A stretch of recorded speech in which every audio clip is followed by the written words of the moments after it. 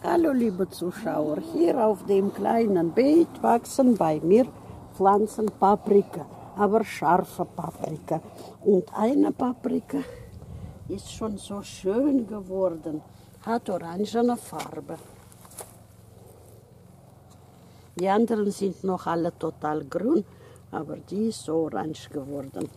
Und hier ist schon der alte Grasschnittmulch. Den schiebe ich jetzt auf den Weg zwischen Beeten. Alles Altes. Und wir werden zwischen Pflanzen den neuen Grasschnittmulch verteilen. Stehen schon zwei Tage und zwei Tage, ich konnte nicht die ausleeren. Irgendwas zwischendrin durchgekommen, passiert. Und schaut ihr bitte, weil Temperaturen so heiß waren, das hat sich fast im Eimer schon fermentiert, so braun geworden und riecht schon so richtig wie fermentiertes Gras. Aber das ist natürlich noch nicht volle Fermentierung, aber egal. Paprikapflanzen mögen das. Entweder frisches Gras oder fermentiertes.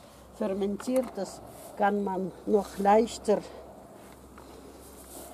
in sich nehmen und deswegen verteile ich gleich hier zwischen scharfe Paprikapflanzen Inhalt von diesen Eimern.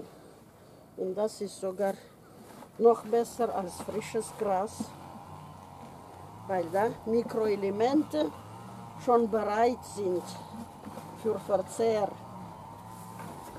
Man muss nur ein bisschen gießen, dass die leicht in die Erde sich eindrängen.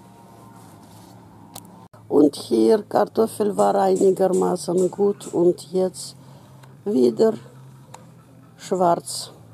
Und viele, viele Stellen sind schon schwarz geworden, weil die letzte Woche regnet es bei uns wieder und nicht wenig und wieder Feuchtigkeit.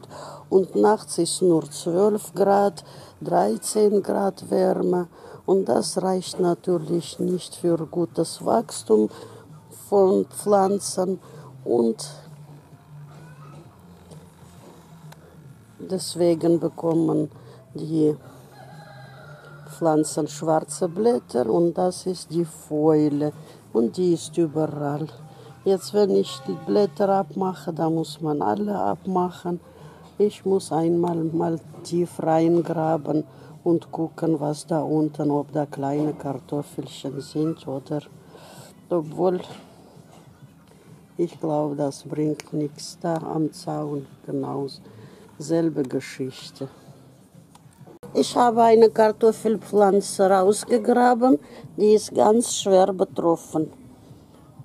Aber ich habe nicht gesehen, das ist die Pflanze, die ist aus Kartoffelschalen gewachsen. Und das freut mich. Naja, hier sind ungefähr acht Stück ganz kleine Kartoffelchen. Die könnten bei guten Verhältnissen groß wachsen groß sein. Aber in diesem Jahr, weil es ist immer nass und kalt, es wird nichts. Die werden sowieso die Kartoffelchen in der Erde faulen. Das bringt nichts, egal ob ich die rausgegraben habe oder nicht. Dann lieber sogar rausgraben, aber ich komme jetzt nicht dazu weil die Erde wird dann auch mit diesen Mikroben, mit diesen Viren der Krankheit, wird alles überfüllt. Und je schneller ich die rausziehe, desto besser für die nächste Ernte. Diese Tomatenpflanze heißt Cocktailtomate, hat so kleine Früchte es gibt Sorte in Gelb, es gibt Sorte in Rot und diese Tomatenpflanze hat immer draußen gut gewachsen. Egal, ob Regen war oder trocken war. Aber natürlich so viel Regen war noch in keinem Jahr wie in diesem Sommer. Und sogar diese widerstandsfähige Tomatenpflanzen ist jetzt kaputt. Also man muss die rausziehen, weil die verbreitet jetzt nur die Viren von der Krankheit, von dieser Fäule. Und die Kartoffeln, glaube ich, muss man jetzt rausziehen. Das werde ich in der nächsten Zukunft machen. Da sind meine Maispflanzen. Und jetzt schon junge Maiskolben. Ich glaube, darf man abmachen. Und wir werden Maiskolben essen, natürlich erstmal kochen. Und dann mit Butter und Salz. Das schmeckt mir hervorragend. Oh, schaut ihr mal. Schaut ihr mal. Das ist eine Schönheit und schmeckt natürlich perfekt. Das ist noch so früh Reifungsstadium.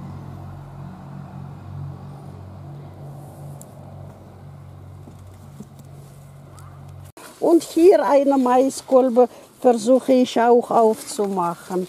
Die oder die, die sind beide Nein, gleich. der andere ist nicht so dick. Welche? Die ist dick. Hm, Nein. Wie? Okay, ich versuche mal. Abgemacht. Und jetzt schauen wir in Mitte, wie die aussieht.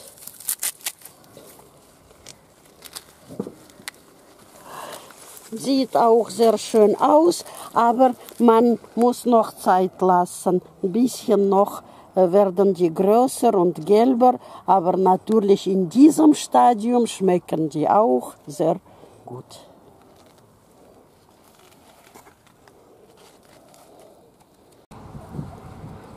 Flussmain. Momentan nach viel Regen bisschen dunkler sieht aus, grünbraun.